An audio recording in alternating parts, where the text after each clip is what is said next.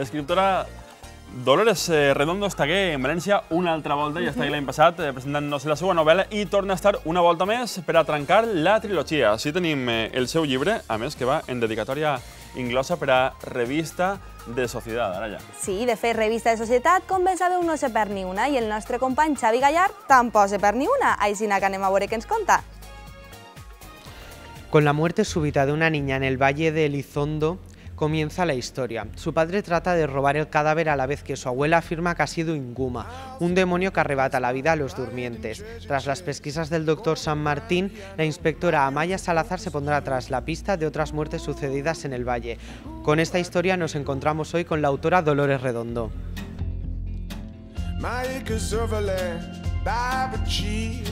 Aquí estamos con Dolores Redondo, autora de esta magnífica novela Ofrenda a la Tormenta. ¿Qué nos puedes contar sobre ella? Bueno, Ofrenda a la Tormenta es la novela que cierra la trilogía. Eh, sabéis que en cada una de las, de las entregas he hecho coincidir el carácter del asesino con una de las criaturas mitológicas del Valle de Baztán. En esta eh, tercera entrega es Inguma, un demonio que se caracteriza por entrar por la noche mientras dormimos y se pone sobre el pecho de los que duermen y les, roba el, aire. Se decía en el antiguo Baztán que causaba la muerte de cuna, que, ahogaba a los niños mientras dormían. La novela se inicia precisamente con la aparición de un bebé muerto en su cuna y todo apunta a que, pueda ser uno de sus padres el autor de este crimen ha contado con magníficas críticas. He leído que gracias a tus obras ha nacido el thriller Navarro y también esta, esta crítica del periódico. Hay pocas novelas donde se perciba esta sensación maravillosa, este prodigio que surge de un libro cuando vivimos la necesidad de saber qué hay al otro lado de la página. ¿Cómo vives estas críticas?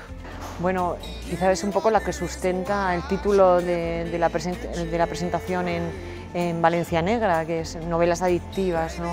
algo que me dicen muchísimos lectores, ¿no?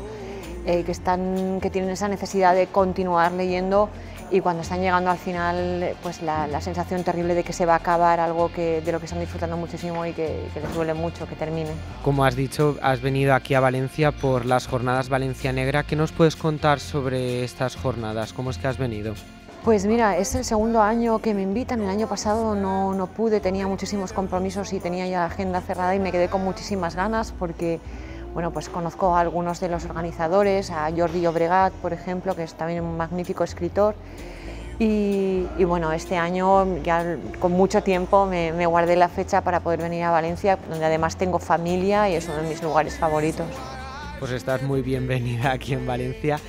Y esta historia es diferente a las otras dos historias de la trilogía. ¿Se puede leer por separado o hay que leerse los tres libros? Es la misma historia. La trilogía es un iceberg. La primera novela es la punta del iceberg, luego hay un cuerpo medio con más información y esto era lo que permanecía oculto bajo el agua, es la parte más misteriosa de, la novela, donde realmente se, revelan todos los misterios, no solamente los que tienen que ver con los crímenes que se van cometiendo en las novelas, que se van resolviendo en cada una, sino el que centra la vida de la inspectora Salazar, que es el más importante. ¿Y qué nos puedes contar sobre tus nuevos proyectos? Porque los productores de la saga Millennium están interesados en llevar esta historia a la gran pantalla.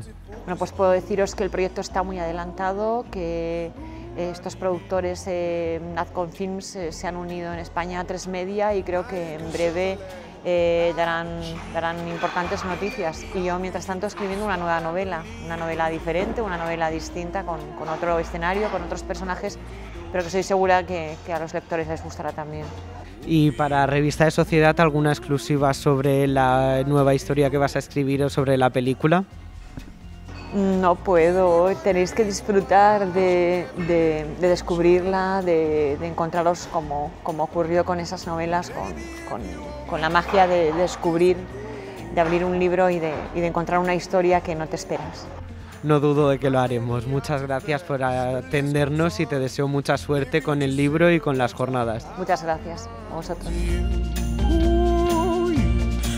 Imaginaros una tarde, con el sol, con la brisa del mar y disfrutando de una buena historia. Pues ya podéis dejar de imaginar y empezar a disfrutar.